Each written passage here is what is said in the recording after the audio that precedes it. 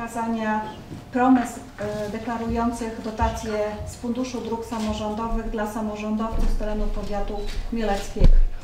E, Ważna, wyda, ważne wydarzenie dla e, mieszkańców Podkarpacia, dla mieszkańców tego powiatu, dlatego że środki finansowe, które Państwu przekażemy, sprawią, że e, i drogi, po których będziemy się w powiecie mieleckim poruszać, i też dostępność komunikacyjna, tak ważna w XXI wieku, rzeczywiście będzie na pewno zupełnie inna po wykorzystaniu tych środków, które dzisiaj mamy przyjemność e, Państwu zadeklarować. Dla samorządowców z terenu powiatu to pewnie nie jest niespodzianka, bo wiedza o tym e, się pojawiła w przestrzeni publicznej po zatwierdzeniu e, listy przez prezesa Rady Ministrów Mateusza Morawieckiego 30 sierpnia. Na teren województwa podkarpackiego globalnie trafi kwota 312 milionów złotych. Z tej kwoty prawie 16 milionów złotych trafi na teren po- powiatu mieleckiego dla powiatu mieleckiego oraz jednostek szczebla gminnego z tego powiatu. To dużo. W wielu przypadkach e, realizacja szeregu inwestycji, które dzisiaj stają się możliwe, na pewno wymagałaby kilku lat starań, by odłożyć środki finansowe w budżecie gmin czy powiatu na realizację tych przedsięwzięć, a przy wsparciu e, rządowym, które dzięki Funduszowi Dróg Samorządowych jest zagwarantowane, te możliwości stają się realne. Ja też może tylko przypomnę, e, że decyzją pana premiera kwota pierwotna Funduszu Dróg Samorządowych została zwiększona o 42 miliony złotych. Pierwotnie wynosiła 270 milionów dla Podkarpacia, a to zwiększenie z puli rezerwy premiera e, o 42 miliony złotych sprawiło, że jest inny poziom dofinansowania dla jednostek samorządowych e, z poziomu 50%, czyli 50% dotacji państwa i 50% wkładu własnego jednostki samorządowej. Mamy e, możliwość dofinansowania nawet do 80% m, e, dla niektórych samorządów. Zapraszamy przedstawiciela powiatu mieleckiego, pana starostę. Panie starosto, promesa dla pana. Gratuluję bardzo serdecznie. Dziękuję. Proszę podziękować panu premierowi. Oczywiście, bardzo prosimy. Może troszkę Gratuluję.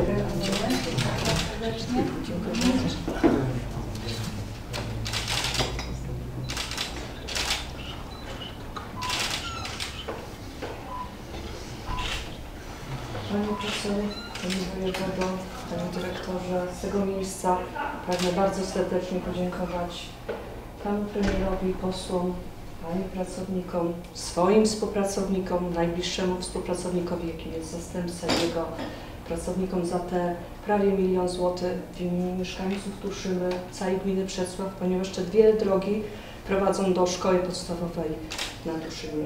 Jeszcze raz dziękuję. Mam nadzieję, że to nie nasz ostatni wniosek, który tutaj wspólnie z kolegami składamy i prosimy o przychylność. I dziękuję za przybycie do Przesławia również Państwu samorządowcom, Panu staroście, żeście dzisiaj odwiedzili Przesław. Mam nadzieję, że nie po raz ostatni. Dziękuję raz. Oby tak dalej. Tak, dziękuję pięknie. Wodo, e, pewnie wiele pisze osób i stara się takie pieniążki, nie wszystkim to się udaje, a tutaj widzimy, że Mielec bryluje. Powiat mielecki rzeczywiście jest beneficjentem e, czterech dotacji. E, Spora kwota 10 milionów złotych, które trafią e, dla tego powiatu. Mm, To jest też wyraz e, e, dostrzeżenia znaczenia samego powiatu, którego rozwój jest ważny i w kontekście województwa i też tego, co w tym powiecie się dzieje. To jest powiat, który ma znaczenie dla rozwoju przemysłu e, w województwie podkarpackim, stąd też ta dostępność komunikacyjna jest niezwykle istotna, ale nie tylko powiat, bo w sumie przecież pozostałe jednostki samorządu szczebla gminnego z terenu powiatu otrzymały niespełna 6-milionową dotację e, do e, kilkunastu zadań, które będą realizować. Mm, I to myślę, że dla całego powiatu jest znacząca kwota, która na pewno, e, jak już inwestycje zostaną zrealizowane, będzie odczuwalna przez mieszkańców. Mhm. No to jeszcze pozostajemy przez chwilę w klimacie dróg. E, Ten drugi projekt autobusowy chyba nie wszystkim tak przypadł do gustu i do serca, bo jednak chyba niektórzy sobie nie radzą z tym projektem. E, Fundusz autobusowy jest rzeczywiście przedsięwzięciem trudniejszym. E, Ten drugi nabór e, został ponowiony decyzją ministra infrastruktury z tego powodu, e, iż realizacja w pierwszym naborze przywracanych połączeń autobusowych rzeczywiście w województwie podkarpackim wyglądała bardzo korzystnie, najlepiej w skali całego kraju, bo mieliśmy przyłączone 207 e, nowych połączeń, które zostały przywrócone do użyteczności publicznej. Mm, ale mm, z puli y, ponad 19 milionów złotych wykorzystaliśmy 3 miliony 200. E, Więc e, ten zasób finansowy w niewielkiej części został e, zadysponowany na potrzeby przywracania połączeń. Natomiast to jest trudniejszy fundusz do sięgnięcia, ponieważ po pierwsze e, w wielu przypadkach e, wymagane jest porozumienie pomiędzy jednostką szczebla wyższego rzędu i jednostkami szczebla niższego. Mam tu na uwadze głównie powiaty oraz e, gminy, chociaż e, możliwe jest także e, zabieganie o te środki przez samorząd województwa. A więc trzeba porozumieć się, a, po drugie trzeba mieć wyłonionego operatora połączeń. E, I w przypadku krótkiego czasu, który był w odniesieniu do tego pierwszego naboru, e, jednostki samorządu terytorialnego miały właśnie z tym, z tym problem, ponieważ przeprowadzenie pełnej procedury przetargowej wymagało więcej czasu, aniżeli e, ten czas, który był przewidziany do złożenia wniosku w ramach naboru. Natomiast myślę, że ten drugi nabór pewnie też nie przyniesie bardzo istotnych e, zmian. E, Natomiast duże nadzieje wiąże z trzecim naborem, który już będzie e, naborem na rok 2020. On będzie zrealizowany prawdopodobnie w drugiej połowie października lub w listopadzie. I wiem, że samorządowcy z, w czasie rozmów już jednoznacznie mówią, że do tego naboru się przygotowują po to, ażeby rzeczywiście spełnić oczekiwania swoich mieszkańców, e, gdyż e, w wielu miejscowościach e, te połączenia autobusowe, które stanowiły jedyny sposób na łączność z ośrodkami wyższego rzędu, z miastami czy miastem wojewódzkim, jeśli nie będą mieć dofinansowania z budżetu państwa, po prostu nie będą mogły być realizowane. E, Większość e, jednostek samorządu terytorialnego poszkodowanych na skutek e, opadów deszczu i powodzi, która miała miejsce e, w tym roku, już otrzymała promesy i jest w trakcie realizacji e, tych inwestycji, które służą przywróceniu użyteczności czy to dróg, czy też obiektów e, użyteczności publicznej. Są jeszcze e, pojedyncze jednostki samorządowe, które wnioskują o e, przyznanie środków. Te środki e, myślę, że w kwestii Ministerstwa Spraw Wewnętrznych i Administracji jest to, czy one zostaną przyznane, czy nie. I my w zasadzie na bieżąco, jeśli jest decyzja o przyznaniu środków, informujemy włodarzy gmin o tym, że te środki są do ich dyspozycji ponieważ e, w przypadku programu usuwania skutków klęsk żywiołowych niestety, ale dotacja rządowa musi być rozliczona do końca roku. Dlatego e, w przypadku większych inwestycji, które jeszcze nie otrzymały zapewnienia dofinansowania z budżetu państwa, samorządowcy wolą, ażeby ich wniosek został rozpoznany w roku przyszłym z uwagi na krótki czas do końca tego roku.